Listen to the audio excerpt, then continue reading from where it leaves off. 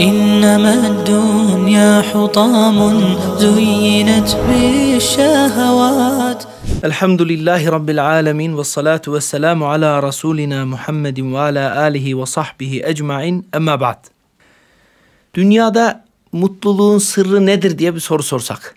Yani en mutlu insanlar kimlerdir? Veya ne yaptığımızda biz dünyanın en mutlu insanları olabiliriz diye bir soru sorsak.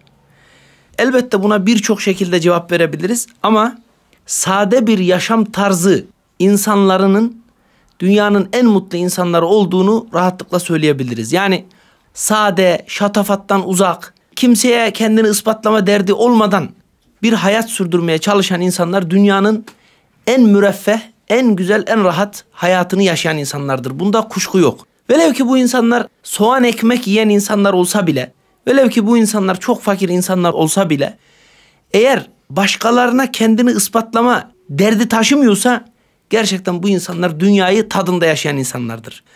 Kardeşler bugün Allah Resulü Aleyhisselatü Vesselam'ın bir hadisini merkeze alarak bir ders yapmaya çalışacağız. Önemli bir konudan bahsedeceğim. Eğer anlatabilirsem inşallah önemli bir konuyu ele alacağım. Anlatacağım konu sadelik üzerine olacak. Ne demek yani? Hayatı sade, yalın, gösteri ve şatafattan uzak, tekellüften uzak ve mütevazi bir şekilde yaşayabilme sanatı. Şimdi üzerinde konuşacağımız konumuzun ana mihverini oluşturan hadis şu hadis. Buyuruyor ki aleyhissalatü vesselam Ela tesma'un, ela tesma'un. Duymuyor musunuz, duymuyor musunuz? İnnel bezâzete minel iman, innel bezâzete minel iman. Şüphesiz ki sadelik, sade bir hayat yaşamak imandandır. Sade giyinmek, sade hayat yaşamak imandandır buyuruyor. Bunu üç kere tekrar ettiği rivayetler de var. Bu hadis İmam Ebu Davud'un rivayet ettiği, kimi alimlerimizin hasen, kimi alimlerimizin sahih kabul ettiği bir rivayet. Bu rivayete göre kardeşler ancak imanını kemale erdirmiş, imanını hakiki anlamda gerçekleştirmiş, iman ehli olan insanlar sade bir yaşamı becerebilirler. İmanı az olan, hakkıyla iman edememiş olan insanlar da sade bir hayat yaşamakta zorlanırlar. Hadisin anlatmak istediği ana şey bu. Şimdi ben hadisi ve hadisin üzerinde söylenmesi gereken şeyleri zikredeceğim. Buna geçeceğim. Ama evveliyatında önemine binaen dünya hayatının mahiyetini ortaya koyan şu iki tane müthiş ayet-i kerimeyi zikretmek istiyorum. Ardına da Efendimiz sallallahu aleyhi ve sellemin yine dünyanın mahiyetini ortaya koyan önemli bir hadisini aktarmak ve ondan sonra konuya geçiş yapmak istiyorum. Şimdi sadeliği anlayacağız ama öncesinde bu işin mahiyetini bir kavramamız lazım. Bakın Rabbimiz Hadid suresinde ne buyuruyor? İ'lemu ennemel hayatud dünya la'ibun ve lehvun ve zinetun ve tefâhurun beynekum ve tekâthurun fil emvali vel evlad. Ey insanlar bilin ki dünya hayatı ancak bir oyun, bir eğlence, bir gösteriş ve süs, aranızda bir övünme, bir de mal ve evlatta çokluk yarışına girmekten ibarettir. Dünya nedir? Ah dünya budur. Allah'a sorduğumuz zaman dünyayı bize tanımlıyor. Beş maddeyle dünyayı özetliyor. Oyundur, eğlencedir, gösteriştir, süstür, birbirimize hava atma yeridir. Bir de birbirimize övünme yeridir. Ve en önemlisi mal ve evlatta yarış yeridir dünya. Yani bunlar iyi olan şeyler anlamında anlatmıyor Allah. Dünyanın mahiyetini öğrenmek istiyorsanız aha size dünya diyor. Peki böyle mi bitiriyor? Hayır. Ayetin en sonunu anlatacağım. Arası da var ama onu size okuyun inşallah. Hadis suresi 20. ayet. En sonunda da diyor ki: "Ve mel hayatu dunya illa meta'ul gurur." Dünya hayatı aldatıcı bir faydalanmadan başka bir şey değildir. Aldatıcıdır ya. Gerçek değildir. Yani sen bunu gördüğün zaman gerçeğini unutursun. Bu seni oyalar. İşte dünya ancak böyle bir şeyden ibarettir kardeşlerim. İkinci ayet-i kerime. Bu da önemli ayetlerden bir tanesi. Düşünülmesi gereken ayetlerden bir tanesi. Buyuruyor ki Rabbimiz. Zuyyine linnâsi hubbu şehevat minen nisa'i vel benine vel kanatiril mukantarati minel zehebi vel fiddah vel haylil musevveme vel en'ami vel harf. Kadınlara bir, oğullara iki, yığın yığın biriktirilmiş altın ve gümüşe üç, soylu atlara dört, sağmal hayvanlara beş ve ekinlere düşkünlük insanlara süslü gösterildi. Bakın bu sayılan maddeler insanoğluna bu sırayla sevdirilmiş. Yani sıralama yapacak, yapacak olsanız bu sıralama insanoğlunun genelinin en çok sevdiği sıralamadır. Ama ben burada ayette geçen bir ifadeye sizin dikkatlerinizi çekmek istiyorum. Buyuruyor ki Rabbimiz züyyine linnas. Ne demek züyyine? Süslendi demek. Güzel gösterilmeye çalışıldı. Soru soruyorum. Süsleme genel itibariyle nerede olur? Süsleme genelde aslı güzel olmayan şeylerde olur. Kötüdür, çirkindir, iyi değildir. Sen onu güzel, iyi hale getirebilmek için ne yaparsın? Süslersin. Yani Allah diyor ki bunlar ahiretlik nimetlerin yanında işte oyun oynaş şeyler. Ama biz bunları imtihan gereği size süsledik. Süslü gösterdik. Arka planına baksanız bunların yüzünden makyajlar bir dökülüverse bunların ne olduğunu göreceksiniz. Ne kadar basit ve kötü şeyler olduğunu göreceksiniz diyor. Ve yine adeta Allah bize şöyle diyor. Bu anlatılanlar var ya kadınlar, mallar, atlar bütün bunlar aslı güzel olduğu için değil. Sadece bir imtihan gereği süslenmiştir. İşte bu ayetten biz dünyanın bize süslü gösterildiğini anlıyoruz. Şimdi sadeliği konuşacağız ama evveliyatında bir hakikati ortaya koymamız lazım. Dünya gerçekten süslü. Gerçekten albenisi çok yüksek bir yer. Zaten Allah Resulü'nün zikredeceğim hadisinde de buna vurgu yapıyor. Buyuruyor ki Efendimiz inne dünya hulvetun hadira. Şüphesiz ki dünya çok tatlı ve çok çekicidir. Cazibesi çok fazladır. Onun cazibesinden ve bu çekiciliğinden ancak dünyanın mahiyetini anlayanlar sakınabilirler. Şimdi kardeşler bir kadınla evleneceğinizi düşünün. O kadar güzel bir kadın ki acayip süslü. Müthiş bir cazibesi ve çekiciliği var. Ama siz bu kadınla konuştuğunuz zaman veya araştırma yaptığınız zaman öğreniyorsunuz ki bu kadın aldatıcı bir kadın. Bugün sana göz kırpıyor. Yarın bir başkasına göz kırpıyor. Dün de başkasına göz kırpmıştı zaten. Allah için soruyorum. Bu durumda böyle bir kadınla evlenir misiniz? Namusu, haysiyeti, şerefi olan böyle bir kadınla asla evlenmez. Böyle bir şey düşünmez bile. İşte dünya da aynen böyle. Dünya aynen bu kadın gibi. Yani bakıyorsunuz dış görünüşü itibariyle müthiş bir albenisi var. Müthiş bir çekiciliği var. İnanılmaz cazibesi var. Ama onun çok aldatıcı. Yani bugün bana göz kırptı ama dün bir başkasına kırpmıştı. Yarın da bir başkasına kırpacak. Aldatıcı olan bu yönünü gördüğünüz anda diyorsunuz ki Allah Allah bu dünya gerçekten kendisine gönül bağlanılacak bir dünya değil. Aynı bu kadın gibi işte. Nasıl ki kadının o dış görünüşü sizi etkiliyor ama mahiyetini öğrendiğinizde nefret ediyorsunuz. Dünyanın da bu dış görünüşü evler, atlar, yatlar, katlar, marklar, dolarlar vallahi çekici geliyor. Ama bunun künhünü öğrendiğinizde ahirete kıyasla bunun ne kadar rezil ve kokuşmuş bir şey olduğunu öğrendiğinizde diyorsunuz ki asla gönül bağlanılacak bir şey değildir dünya. Maalesef dünya böyle olmasına rağmen içimizden kimileri o iğrenç haliyle onunla nikahlanıyor.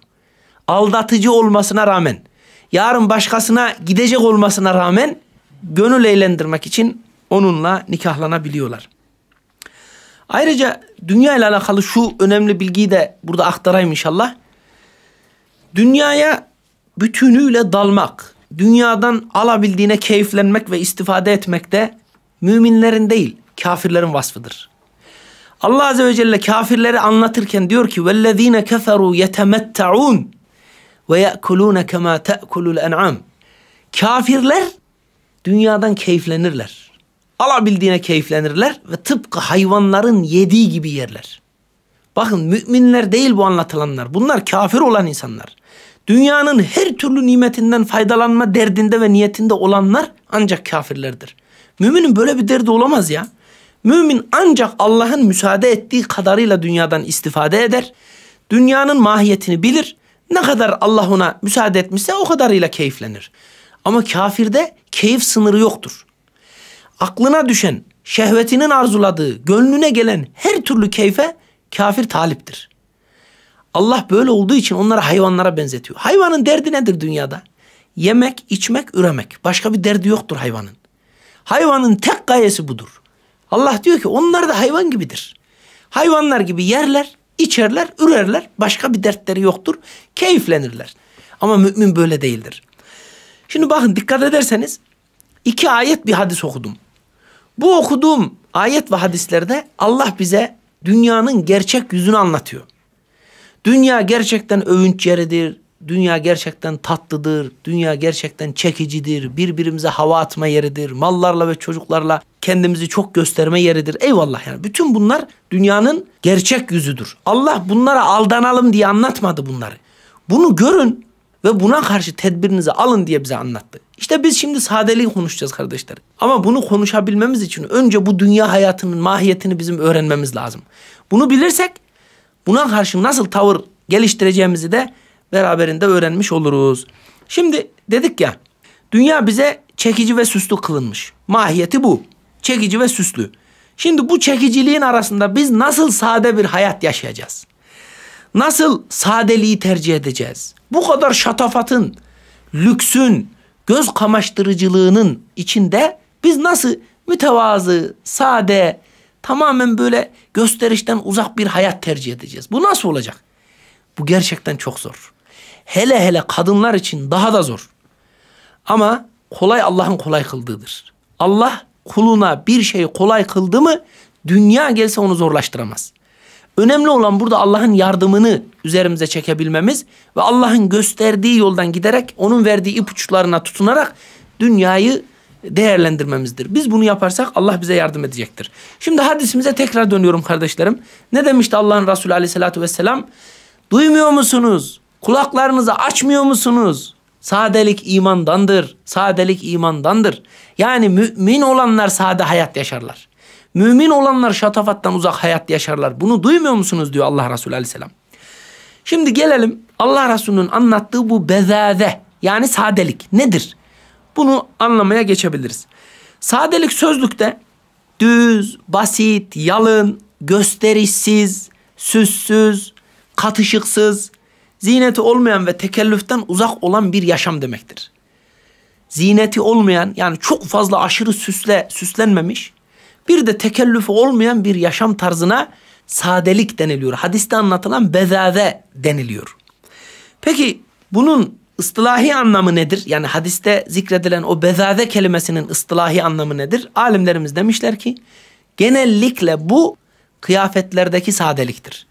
Giyim kuşamdaki insanın dış görünümündeki saçını başını tarama vesaire bu alandaki sadeliktir. Hadisin asıl anlatmak istediği budur. Ama inşallah biz bunun ötesinde de başka sadelik alanlarını da konuşacağız. Hafız Münziri rahimehullah diyor ki bu hadiste geçen bezade kelimesi, sadelik kelimesi et-tevadu'u fil libas. Bir resâsetil heyeti ve rıda biddûni mineth-thiyab. Bugünün Türkçesiyle modern bir tercümeyle tercüme edeceğim. Modadan uzak kalmak suretiyle giyim kuşamda mütevazı olmak, düşük kalite elbiseler giymeye rıza gösterebilmek. Yani çok pahalı elbiseler alma imkanın var. Ama sırf Allah rızası için ve tevazudan dolayı biraz daha kalitesi düşük olan elbiseyi alıyor ve buna rıza gösterebiliyorsun. Bezaze budur diyor. Bazı alimlerimiz de şöyle izah etmişler. Terkut tezeyyuni bil heyetil hasenetil cemile ala ciheti tevadu. Tevazu kastıyla güzel şekillerle süslenmekten uzak durmak. Yani mesela bir genç düşünün. Saçını jöleliyor, fön çektiriyor, sakallarına bir şey sürdürüp böyle sürekli dümdüz görünmesini sağlıyor. Buralarını aldırıyor, kaşına gözüne bakım yaptırıyor filan. Bütün bunlar evet belki haram değildir. Ama bezade dediği Allah Resulü'nün sadelikle zıttır. Allah Resulü Müslümanın düzgün görünümlü olmasını istiyor ama Müslümanın hayatının böyle giyim kuşam üzerine kurulmasını, Müslümanın sürekli aklının giyimde, kuşamda, süslenmede olmasını istemiyor Allah Resulü. Bunun imanın kemaline ters olduğunu vurguluyor. Şimdi hadiste her ne kadar Allah Resulü kıyafeti ve dış görünümü anlatsa da buralardaki tevazuyu, buralardaki sadeliği vurgulasa da biz sadeliği Allah Resulü'nün hayatındaki başka hadislerden hareketle diğer alanlara da yayabiliriz. Mesela ev dizaynında sadelik olarak da anlayabiliriz bu hadisi. Ev eşyalarımızdaki sadelik olarak anlayabiliriz. Tıraş olmadaki sadelik veya saç bakımındaki sadelik olarak da anlayabiliriz. Yine yemeklerimizdeki sadelikler olarak anlayabiliriz. Eğitimdeki sadeliğimiz olarak anlayabiliriz. Konuşmalarımızdaki sadelik olarak anlayabiliriz. İla ahirihi. Yani hayat içerisinde sadeliğin yakıştığı, güzel düştüğü nere varsa biz bu hadisteki anlamı oraya taşıyabiliriz. Bunların her biri mümkündür. Ama ben bunlara inşallah bir sonraki derste değinmeye çalışacağım. Yani konuşmada sadelik nasıl olur, ev dizaynımızda, ev eşyalarımızda sadelik nasıl olur vesaire. Bunları haftaya anlatacağım. Bugün anlatmaya çalışacağım şey kıyafet ve giyim tarzındaki sadelik olacak. Ama kardeşler ben bunun öncesinde yani kıyafetlerimizdeki ve giyim kuşamımızdaki sadeliğin öncesinde çok önemli bir şey anlatmak istiyorum. Sadelik niye önemli? Yani Allah Resulü niye sadeliği vurgulamış? Ve bu dünyada yaşadığımız şu çağda sadeliğin ne önemi var? Bunu anlatmaya çalışacağım. Buna vurgu yapmaya çalışacağım. Çünkü sadelik o kadar önemli, o kadar önemli bir konu ki samimi söylüyorum hem psikolojik olarak hem de dini olarak kendisini gösteriyor bize. Yani psikolojik olarak söyleyeyim mesela şu an yapılan araştırmalara göre Türkiye'de ve dünyada insanların büyük bir kısmı psikolojik buhranlar içerisinde, psikolojik sıkıntılar içerisinde inanılmaz bir bunalımın içerisindeler. Depresyon hapları yüzde altmışlarda diyorlar. Yani gördüğünüz insanların birçoğu depresyon hapı kullanıyor. Bu neden? Çünkü psikolojiler düzgün değil. Peki niye insanlar depresyona giriyor? Niye psikolojileri bozuluyor? Niye rahatsızlık hissediyorlar? Bunun binlerce belki sebebi olabilir. Ama samimi söylüyorum. Bence en temel nedenlerinden bir tanesi şu.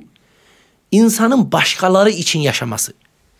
İnsanın bir türlü kendi olamaması. Ne derler putunu bir türlü yıkamaması. Ve hayatını bunun üzerine şekillendirmesi. Mesela bir genç düşünün. Farz edin ki elinde akıllı telefonu yok. Ya insan içine çıkamıyor bu genç. Utanıyor. Benim akıllı telefonum neden yok diye. Ya da ilerleyen modelleri neden bende yok diye insanların içerisinde çıkmaktan haya ediyor.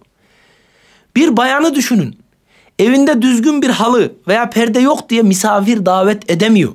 Şimdi böyle olan bir adamın, böyle olan bir kadının psikolojisi bozulmasın da ne yapsın Allah rızası için? Tabii ki psikoloji bozulur. Mesela insanların içine çıkarken kıyafeti biraz e, deforme olduysa e, böyle bir insan şimdi nasıl insanların içine çıksın?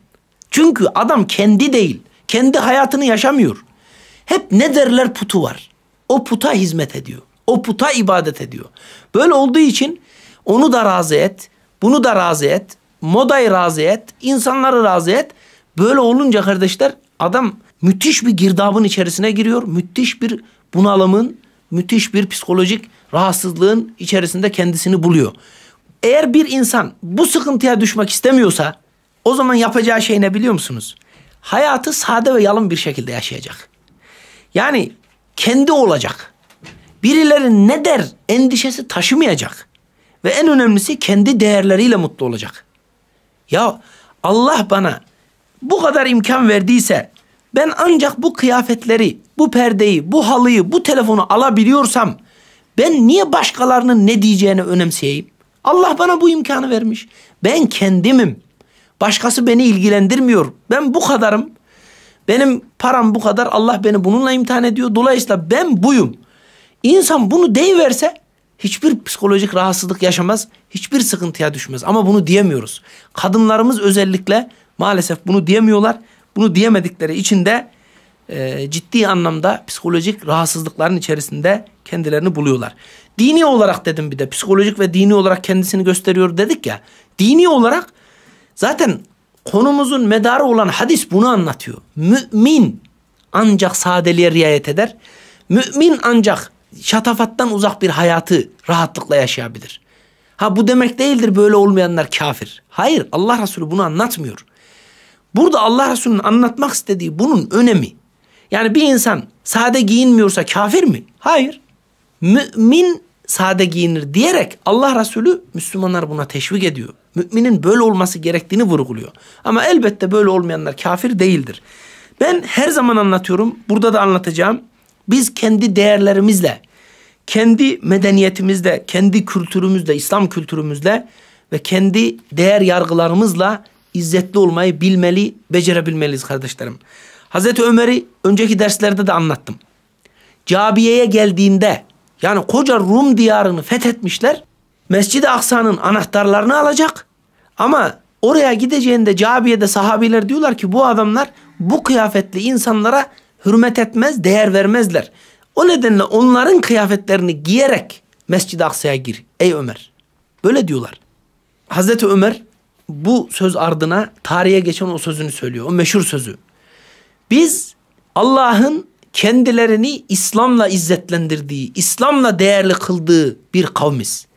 Biz izzetimizi ve değerimizi her ne zaman İslam'ın dışında bir şeyde ararsak, kıyafette, giyimde, kuşamda ararsak Allah bizi zelil eder.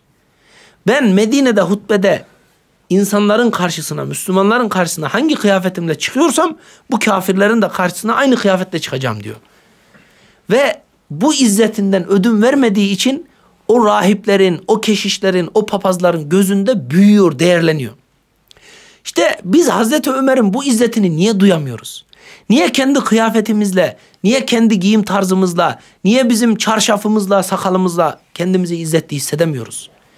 Yani çarşaflı ablalarımız mesela İslam'ın onlara emretmiş olduğu o güzelim kıyafeti vallahi rezil rüsva ediyorlar. Mesela siyah veya koyu renkli bir şey giy, insanlar arasında edebinle dolaş. Hayır, yani mor giyiyor, pembe giyiyor, üstüne desen attırıyor. Acayip acayip eldivenler, acayip acayip ayakkabılar. Ya arkadaş İslam sana insanlara kendini çarşaf giyerek göster demiyor. Bunu emretmiyor. Çarşaf giyerek kendini gizle, insanlara teşhir etme diyor. Ama sen çarşaf giyiyorsun tamam. Ama öyle bir çarşaf giyiyorsun ki açık kadınlar kadar dikkat çekiyorsun. Sen İslam'ın sana öngördüğü kıyafette izzet bulamıyorsun. Bunun başka bir adı yok yani. Biz işte kardeşler İslam'ın bize öngördüğü bu kıyafet tarzı veya giyim tarzını benimseyerek kendimizi değerli hissetmeyi becerebilmeliyiz. Biz Allah'ın ve Resulünün bize belirlediği bu tarzı terk ediyoruz. Maalesef kokuşmuş, taharetlenmeyi bile beceremeyen batının bize dayattığı hayat tarzını benimsiyoruz. Onların bize öngördüğü kıyafet modellerine özeniyoruz. Ya onların bize empoze ettiği bir şey var. Ne biliyor musunuz? Sen özelsin. Sen ayrıcalıklısın. Sen farklısın. Sen mümtaz bir insansın. Hep böyle sen sen sen diyerek nefislerimizi kabarttı batı. Bu kültürü bizim içimize aşılayarak nefislerimizi dağlar gibi büyüttü. Böyle olunca da insanlar bu kara propagandalardan etkilendi ve kendilerini farklı hissetmeye başladılar.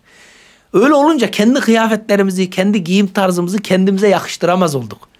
Bakın kardeşler, VIP bir yaşam tarzı Müslüman için büyük bir problemdir. Ne demek biliyor musunuz VIP? Duyarsınız yani çok kullanılan bir kelime. VIP İngilizce'deki very important person kelimelerinin baş harfleri. VIP, VIP yazılıyor. Bunun Türkçe karşılığı çok önemli kişi, ayrıcalıklı kişi, mümtaz ve elit kişi demek. Ya da şöyle de diyebiliriz. Önemi ve statüsü, konumu sebebiyle belirli ayrıcalıklı haklara sahip olan adam demektir. Herkes kendini VIP görüyor. Yani ben ayrı bir adamım, özelim, ben farklıyım, elitim, ben diğer insanlardan ayrıcalıklıyım. Hep böyle düşünüyor insanlar. Böyle olunca da ego ortaya çıkıyor. İnsanlar kendilerini vallahi büyük görüyor. Hep özel kişi olarak görüyor. VIP. Nereye gitse VIP. Baş köşe ona ait olacak. En güzel kıyafeti o giyecek. En güzel yemeği o yiyecek. En güzel içecekler ona sunulacak. En güzel saç onun olacak. En güzel koku ona ait olacak. Ya her şeyin en güzeli ha. İsmi bile diğer insanlarda olmayacak. Böyle acayip bir tip yetişti içimizde. Yani bu VIP tip vallahi İslam'ın öngördüğü bir tip değil. Biz ayrıcalıklı değiliz kardeşim. Biz sıradan insanlarız ya. Bizim ne farkımız var diğer insanlardan? Mesela ben hoca olarak biliniyorum. Benim şuradaki en düşük seviyedeki Müslüman kardeşimden ne farkım var ya? Sadece anlatıcıyım o dinleyici. Aramızda başka bir fark yok. Allah katında benden daha üstündür o kardeş. Bizim değerimizi belirleyen konumlarımız değil. Allah katındaki durumlarımız. Bırakalım bu VIP'liği. Şu anda vallahi insanlar bu hastalığa yakalanmış. Benim neyim eksik diyor. Ya bu benim neyim eksik vallahi büyük bir put. Hele hele bayanlarda yani hani ablalar belki kızacaklar ama maalesef böyle. Onun var da benim neyim eksik? Ya Allah seni böyle yaratmış. Bu imkanlarla yaratmış. Senin eksikliğin yok ama senin kaderin böyle. O yüzden Allah seni fakirlikle deniyor. Onun olabilir zenginlikte bir imtihan. Senin olmayabilir fakirlikte bir imtihan. Kendini böyle kabul edeceksin. VIP hissetmeyeceksin. Ama işte hep bu benim neyim eksik, ben özelim, benim ondan ne farkım var gibi söylemlerle bizi öyle bir hale getirdiler ki Allah'ın verdiği nimetleri küçük görür olduk. Hani hep özeliz ya. İşte evimiz özel olmalı o yüzden. Koltuklarımız özel olacak. Perdelerimiz taç, brillant hatta daha güzel markalar ne varsa onlardan olacak. Tabaklarımız Kütahya porselen veya İngiliz home veya bilmem ne olacak. Yani pazardan gidip tabak alamayız yani. İlla altılı on ikili setler olacak. Bir tanesi kırılsa atılıp yenisi alınacak. Özeliz ya. Kıyafetlerimiz de özel olacak. O renk sadece bende olacak. O model başkasında olmayacak.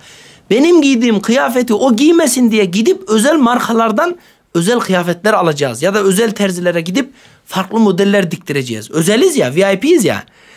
Kokumuz da özel olacak. Adam geliyor dükkana diyor ki hocam bir koku olsun kimse de olmasın. Ya başkalarında da olsun niye kimse de olmasın?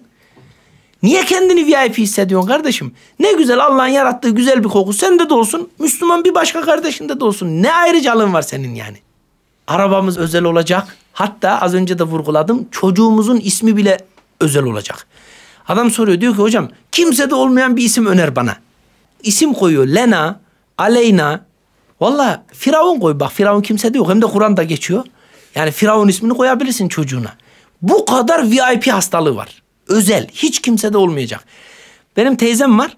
Çocuğu olduğunda bir süre çocuğa isim aradı. Sonra duyduk ismini Nesta koymuş. Allah Allah Nesta hiç duymadığımız bir isim yani. Dedik teyze nereden buldun bu ismi? Kur'an'da geçiyor dedi ya. İyyâke na'budu ve iyyâke nesta in. İni çıkar Nesta. Şu anda teyzemin kızının adı Nesta. Kimse de yok. Daha sonra bir futbolcu da varmış herhalde. Çok üzülmüşlerdi. Ya Barcelona ya Avrupa Ligi'nde bir e, futbolcu da varmış yani Nesta ismi. Ya biz niye ayrıcalıklı olacağız? Niye bizim çocuğumuzun ismi başkasında olmayacak? Vallahi bunlar VIP hastalığıdır. Hiçbir Müslümana yakışmaz kardeşlerim. İşte laf buraya geldiğinde şu soru kendisini ortaya atıyor. Senin efendin, senin rehberin, senin önderin böyle miydi? Senin peygamberin VIP mi yaşardı? Hep ayrıcalıklı, en güzel yerlere oturan, en güzel kıyafetleri giyen, en güzel kokulara sahip olan birisi miydi?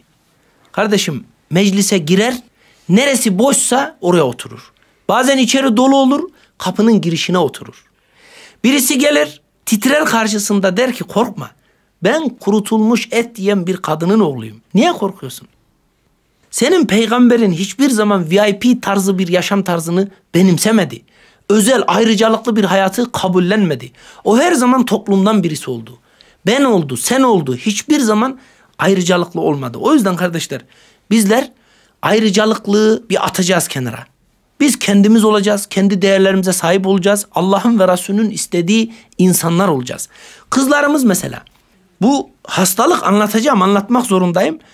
İnanın bu hastalığa öyle bir yakalanmışlar ki VIP hastalığına, ayrıcalıklı olma hastalığına veya sade hayattan uzak şatafat hastalığına öyle bir yakalanmışlar ki vallahi ev beğendiremiyorsunuz.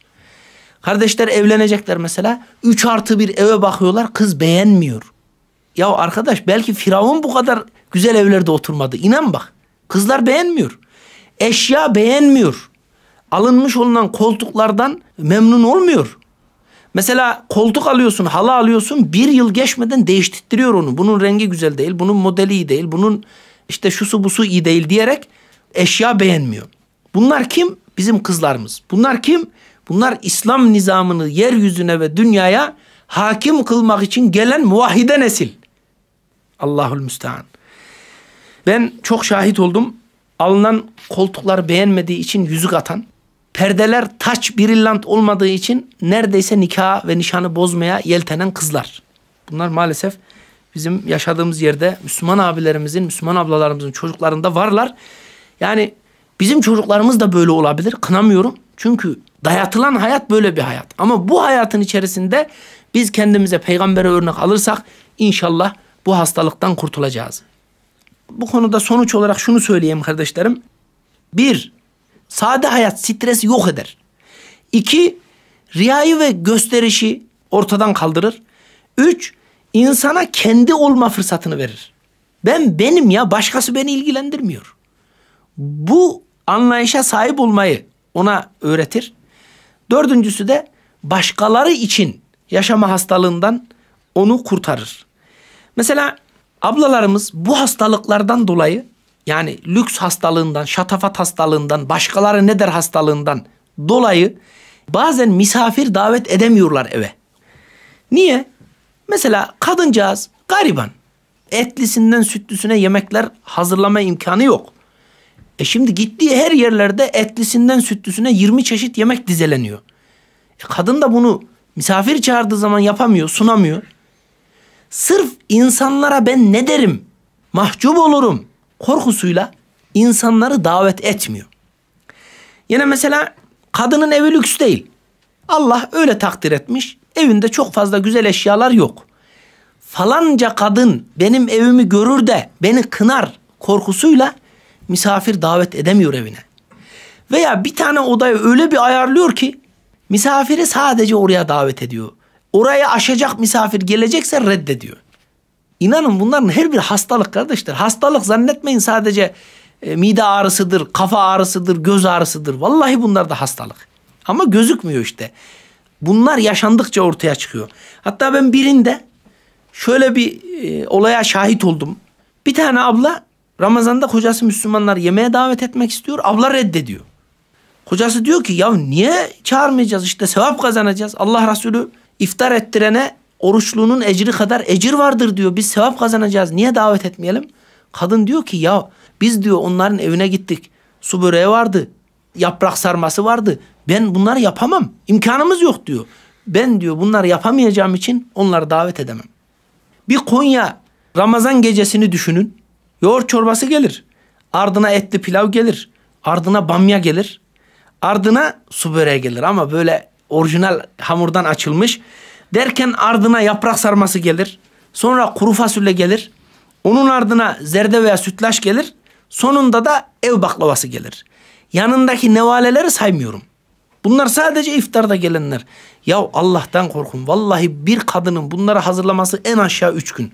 Bunların temizliğini yapması en aşağı bir gün. Dört günü gitti bu kadının ya. Yani zaten o sofranın yarısından fazlası yenmiyor. Böyle bir İslam sofrası olur mu? Peygamber aleyhisselam böyle mi emretti bize? Ben vallahi normal şartlarda kendi evimde iki yemek pişirttirmiyorum.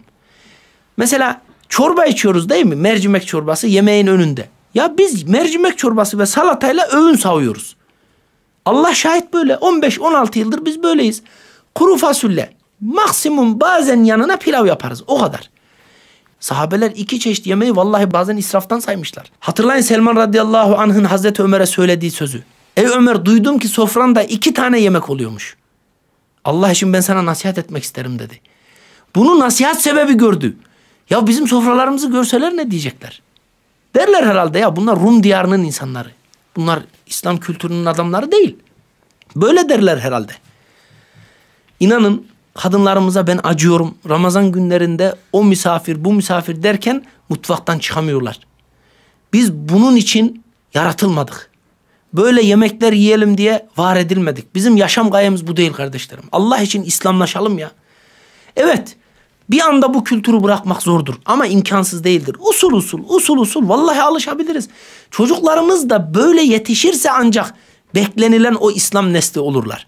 Ama bizim çocuklarımız da böyle on çeşit yemekle yetişirse ya onlar da kocalarına aynı şeyi dayatacaklar. Kocalara alamadığı zaman, isteklerini karşılayamadığı zaman çatışmalar meydana gelecek. Belki boşanmalara kadar gidecek bu. Biz kendi kültürümüze Allah için sahip olalım. Evet. Biraz uzun oldu ama aralar neyse inşallah hadisimize dönelim. Dedi ki Allah Resulü aleyhissalatü vesselam sade giyinmek, sade bir görünüm imandandır. Ancak iman ehli böyle olur. Şimdi ben dediğim gibi birçok açıdan bu sadeliği ele alacağım ama bugün sadece bu derse özel kıyafet konusunu inşallah gündem edeceğim. Birinci maddemiz kardeşlerim kıyafette sadelik. Kıyafette sadelik imandandır. İslam hiçbir zaman insanlara güzel kıyafet giymeyi yasaklamamıştır. Ama güzel giyinmekle şatafatın arasını ayırmıştır İslam. Yani güzel giyin ama şatafatlı olma. Güzel giyin, böbürlenen bir insan olma. Sadeliği esas al ama süslü giyinmen de sana haram değildir. Ne buyuruyor? Kul men harrama zinetallahi allati ahraca li ibadi. Kullarına çıkarttığı süsleri kimmiş haram kılacak? Evet süslü kıyafet giymek de haram değildir. Süslü perdeler veya halılar kullanmak haram değildir. Ama tavsiye edilen bir şey de değildir. Biz işte bu aradaki dengeyi kurmaya çalışacağız. İslam diyor ki bize şeriatın çerçevesi içerisinde kalarak giyinilen bütün kıyafetler helaldir, haram değildir. Ama tavsiye edilen bir şey de değildir. İşte biz bu noktayı konuşuyoruz. Biz işin iman boyutunu konuşuyoruz. Şimdi bir şey meşru olabilir ama tavsiye edilmez. Mesela atlet giymek haram mıdır? Hayır. Bir insan atlet giyip dışarıda gezse haram değildir. Ama dışarıda atletle giymek tavsiye edilen bir şey midir? İnsanlar içerisinde mürüvvet bozucu şeylerle gezmek doğru değildir. Yani haram değildir ama tavsiye de edilmemiştir. Kıyafet de böyle. Süslü elbise giymek, zinetli elbise giymek haram değildir ama tavsiye edilmiş bir şey de değildir. İşte Allah Resulü Aleyhisselatü Vesselam'ın hayatına baktığımız zaman biz onun her daim sadeliği esas aldığını, hayatının merkezine sadeliği koyduğunu ve hep sade kıyafetler giymeye çalıştığını görüyoruz. Sadelik Allah Resulü'nün vazgeçmediği temel prensiplerinden bir tanesi. Ama bazı rivayetlere baktığımızda da güzel kıyafetler, böyle albenisi olan kıyafetler giydiğini görüyoruz. Arayı nasıl bulacağız? Alimlerimiz demişler ki insanın farklı halleri, farklı durumları vardır. Bir durumu vardır ki zinetli, biraz güzel kıyafet giymesini gerektirebilir. Bir durumu da vardır ki sade giyinmesini gerekli kılar. İşte bu iki durum arasında insanoğlu gider gelir. Allah Resulü'nün de böyle halleri olmuştur. Allah Resulü ara ara güzel, zinetli, süslü elbiseler giymiştir. Hakikaten şöyle hoşuna gittiği, böyle yakıştı değil mi dediği elbiseler giymiştir. Fakat bu hayatının ana esası mıdır? Hayır. Allah Resulü ömrü billah daima sadeliği tercih etmiş. Ara ara böyle güzel denilecek zinetli elbiseler giymiştir. Dolayısıyla alimlerimiz diyorlar ki lüks ve şatafatı göstermeyen tarzda giyinmek asıldır. Lüks ve şatafatı göstermeyen, insanı çok böyle üst perdeden bir insanmış gibi lanse etmeyen kıyafetleri giymek asıldır. Asıl bu olacak. Ama bunun da şartı Allah için olacak, tevazu adına olacak. Birileri desin diye ya da ben zahidim havası vereyim diye değil. Allah için bu kasıtla giyersen bu güzel olandır. Hayatın aslında da buna dikkat etmek gerekir. İkinci olarak da Allah'ın verdiği nimeti ızhar etme. Allah'ın verdiği nimeti üzerinde gösterme adına güzel ve süslü elbiseler giymek bu da caizdir ama bunun şartı da kibir ve ucuptan sakınmaktır. Kibir ve ucup gayesiyle böyle giyinmek caiz değildir. Kardeşler sade giyinmek demek asla kötü görünümlü olmak demek değildir. Sade giyinmek deyince hani aklınıza böyle hemen zahidane giyinen insanlar falan gelmesin.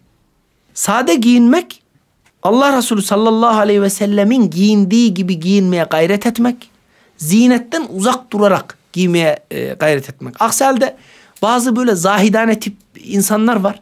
Ya bakıyorsun adam ne üzeri düzgün, ne uyumlu, ne temiz. Acayip tip. Mesela çarşıda var birkaç tane tarikatçı tanıdığım insanlar var yani. Yani adam sanki bilerek elbisesini yıkamıyor. Sanki çok böyle takvalıymış gibi bir hava estirmek için vallahi elbisesini yıkamıyor yani. Yani biz sade giyinme derken bunu kastetmiyoruz. Bir gün Cabir radıyallahu anh anlatıyor. Diyor ki Allah Resulü sallallahu aleyhi ve sellem yanımıza geldi. Beraberimizde bir adam vardı ki saçı başı dağınıktı. Thairur ras. Yani saçları böyle kabarık kabarık. Allah Resulü onu, onu görünce Ema yecidu hâzâ mâ yusekkinu bihi şa'rahu. Ya şu adam saçını dindirecek, saçının kabarıklığını giderecek bir şey bulamıyor mu dedi. Biz buradan anladık ki Allah Resulü hoşlanmadı bundan diyor. Aynı saç dağınıklığından hoşlanmadığı gibi Allah Resulü aleyhissalatü vesselam elbise dağınıklığından da hoşlanmıyor. Sade giyinmek demek elbiselerin böyle dağınık, perperişan bir halde olması demek değildir. Yine mesela sade giyinmek demek pejmurdelik de değildir. Müslüman ucuz giyebilir. Ama bir Müslüman asla yırtık giyemez, sökük giyemez, kirli giyemez. Ucuz giyebilir, sökük, kirli ve yırtık elbise giyemez. Çünkü yırtıklık ve söküklük ya da kirlilik senin tembelliğinden kaynaklanır. Ama ucuzluk Allah'ın verdiği bir imtihandır. İmkan vermediği için alamayabilirsin. Müslüman paspal olamaz kardeşlerim. Sadelik ayrı bir şey. Bunlar ayrı bir şeydir. Yamalı giyin ama asla ve asla yırtık sökük giyinme. Bazen kardeşlerde görüyorum mesela. Ya çoraplarının altı yırtık. Ya kardeşim çorap bir lira ya. Ya bir lira ekmek parası Allah rızası için. Ya niye yırtık giyiniyorsun? Bu Müslümanın giyim adabına uygun değildir. Bak dik altına yama yap ben buna bir şey demem. Ama yırtık giyersen buna itiraz ederim. Bu senden kaynaklanan bir tembelliktir. Bir liran yoksa Allah için bir Müslümandan istesen verir yani. Şimdi insanlar farklı etkenlerle, farklı sahiplerle güzel kıyafet giymeyi terk ederler. Mesela kimisi cimriliğinden dolayı sade giyinir. Bu güzel bir şey mi? Yani sade giyinmek imandan da cimrilikten dolayı sade giyinmek bunun imanla alakası yok. Bu kınanmış bir şeydir. Sadelik cimrilikten dolayıysa kınanmış bir şeydir. Bu adam ecir kazanamaz. Aksine kınanır. İki, insanlardan kimisi de vardır. Zahidane görünmek için o kasıtla sade giyinir. Bakın niyeti yine Allah için değil. Zahit görünmek. İnsanlar ya bu adam maşallah ne zahittir desinler diye. Bu da kınanmış bir durumdur. Hatta bu iki şöhret elbisesinden birisidir. Üçüncüsü de insanlardan kimisi de vardır.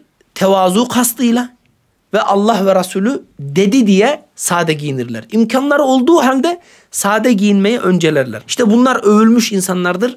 Allah Resulü Aleyhisselatü Vesselam diyor ki Men terekel libase tevaduan lillah.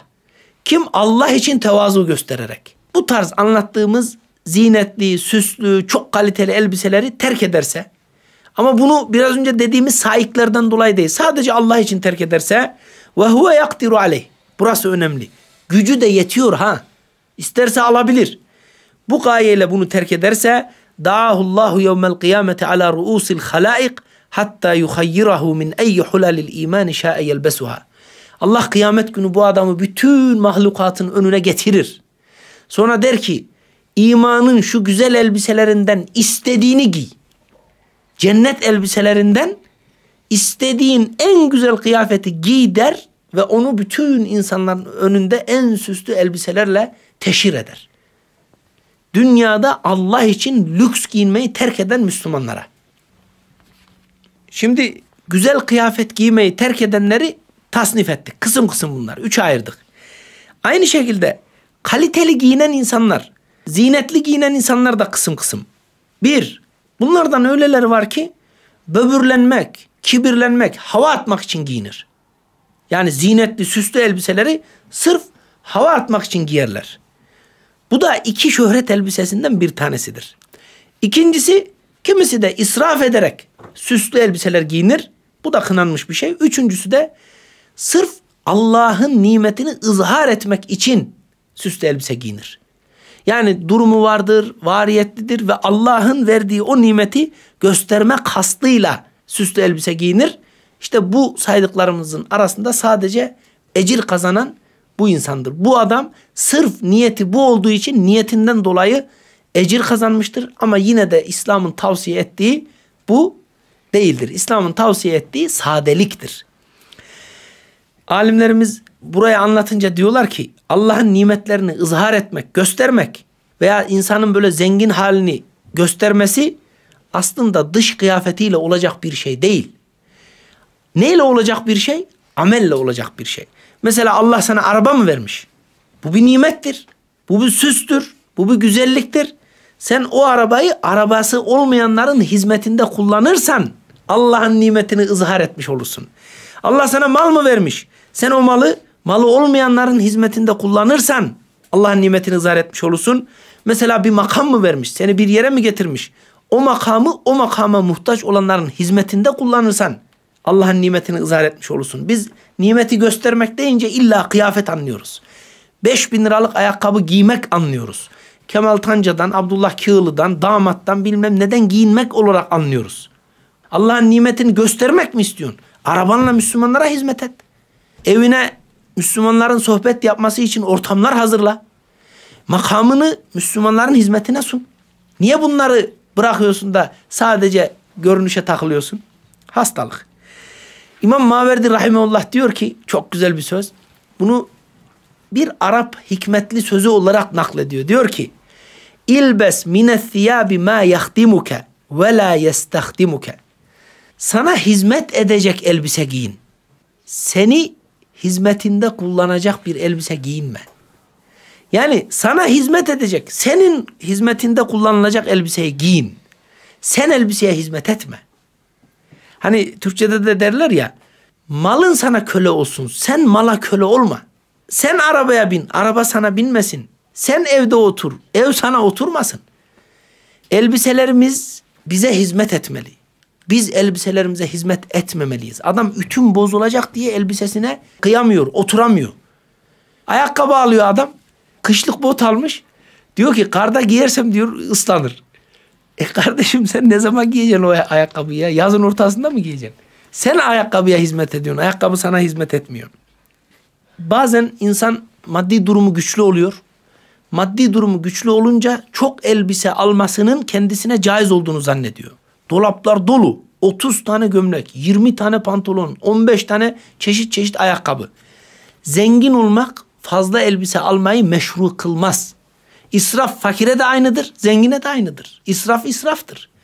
Yani sen zenginsin diye 50 tane gömlek, 30 tane ayakkabı böyle bir hakkın yok ki. İhtiyacının dışındaki her şey israftır. Biz zenginiz diye, alma gücümüz var diye çeşit çeşit böyle alamayız kardeşler. Ancak ihtiyacımız kadarını alabiliriz. Yani işimize giderken giyeceğimiz bir kıyafetimiz olur. Örneğin düğün dernek için özel bir kıyafetimiz olabilir. Kardeşlerimiz için giyeceğimiz kıyafetler olabilir. Ya bunlar üçtür, beştir, ondur yani.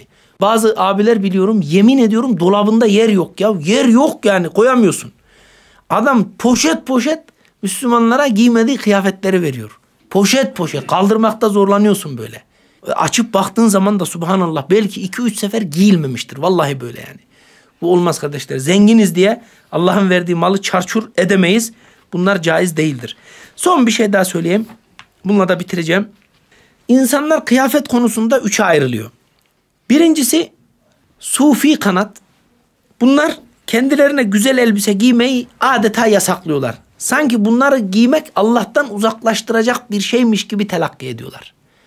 Zahidane geziyorlar böyle. Bunlar birinci kısım. İkinci kısım modern kafalı dindarlar veya dini darlar diyelim. Bunlar da öyle lüks giyiniyorlar ki her konferansa gideceklerinde yeni bir takım elbise, her bir tören için yeni bir takım elbise, oraya giderken bir takım elbise. Bu, bunlar da biraz ilahiyatçı çevre. Adamların onlarca takım elbiseleri var. Aşırı israf, aşırı lükse kaçıyorlar. Bir de sünnete ittiba edenler üçüncü kısım. Bunlar da bu iki ucun arasındalar. Bakın sofiler bir ucu temsil ediyor. Bunlar tefrit. İlahiyatçılar veya o meyanda olan insanlar bunlar da ifratı temsil ediyor. Aşırı israfçılar. Arada sünnete ittiba eden Müslümanlar var. Bunlar Allah Resulü'nün tavsiye ettiği gibi giyinmeye çalışıyorlar. Mesela Sufiler gibi güzel giyinmek harammış gibi değerlendirmiyorlar. Müslümanlar diyorlar ki Allah'ın çıkarttığı süs eşyaları helaldir ama biz sadeliği tercih ediyoruz. Giyen giyebilir ama biz giymiyoruz. Bu kasıtla giymek istemiyoruz diyorlar. Yine mesela bunlar ilahiyatçılar gibi de kardeşler israfçı davranmıyorlar. Her güne bir elbise almıyorlar. Böyle yapmaz Müslüman. Müslüman arada orta halde olur. Allah Resulü aleyhissalatü vesselam işte dedik hep bu minval üzereydi, sadeydi. Her zaman hayatında sadeliği esas almıştı. Son olarak onun vefat ettiği elbiseyi anlatacağım size. Nasıl bir hayat yaşamış, nasıl bir elbise içerisinde vefat etmiş. Ebu Burda radıyallahu anh anlatıyor. Diyor ki, Ayşe radıyallahu anh'ın yanına girdim.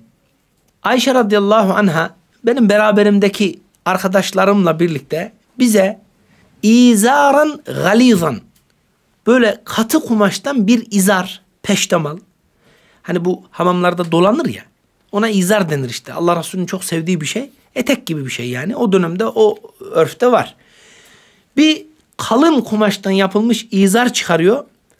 Bir de diyor mülebbede diye adlandırdığımız bir üst elbise çıkarıyor. Ve diyor ki Allah Resulü Allah'a yemin ederim ki bu iki elbisenin içindeyken vefat, vefat etti. Altında kalın bir peştemal üstünde de e, mülebbede denilen bir elbise. Peki mülebbede nedir? Alimlerimiz diyorlar ki yamalı elbisedir. Yani üzerinde giydiği elbise de yamalı bir tarafları dikilmiş. Allah Resulü bu elbisede vefat etti. Niye Hazreti Ayşe bunu Müslümanlara oraya gelen insanlara anlatıyor? Alimlerimiz diyorlar ki Ayşe radıyallahu anha bu sözüyle Resulullah'ın vefat edene kadar hep sade ve gösterişten uzak elbiseler giydiğine işaret etmek istemiş. Müslümanlara bu mesajı vermek istemiş. O yüzden söylemiştir diyorlar. Allah Resulü böyle imkanı var. Koca devlet elinde nereleri fethetmiş. Yani Huneyn'den ne ganimetler gelmiş. Buna rağmen yamalı elbisenin içerisinde vefat etmiştir. İşte bu bize gösteriyor ki imkanımız olsa bile çok lükse kaçmamamız, biraz daha orta seviyede giyinmeye gayret etmemiz, sadeliği tercih etmemiz bizim iyi Müslümanlığımızdandır. Resulullah'ın yoluna ittibamızdandır. İşte bu meseleyi anlarsak inşallah kardeşlerim Allah Resulü'nün bahsettiği gibi hakiki müminlerden olmuş oluruz. Rabbim anlattıklarımla önce beni sonra sizlere amile eylesin. Rabbim hayatın her alanında sadeliği bize nasip etsin.